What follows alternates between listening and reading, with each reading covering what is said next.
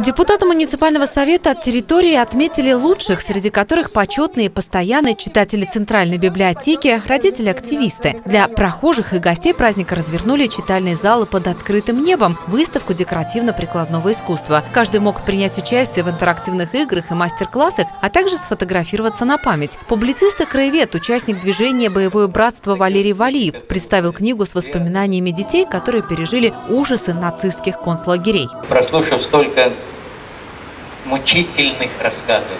Столько рассказов, которых большинство из них просто рассказывали, они просто слезы в них накатывались, и сами по себе бабушки, дедушки плакали, а мне нужно было не только э, видеть их слезы, но нужно было что-то записать. И вот они сквозь слезы рассказывали все свои маленькие, маленькие истории. Но когда их вместе сложить, то получается 200 историй, это получается облик фашизма, это получается облик освобождения нашей Кубани. Свои стихи прочитал член Союза писателей России Сергей Левин. В библиотеке называют его не иначе как другом. В эти выходные ему вручили медаль за выдающийся вклад в развитие города-курорта, в том числе за проекты, прославляющие Анапу. Это было давно, только в память о том, как сражались десант и пехота, плачут вновь ветераны над вечным огнем и стоят крепостные ворота.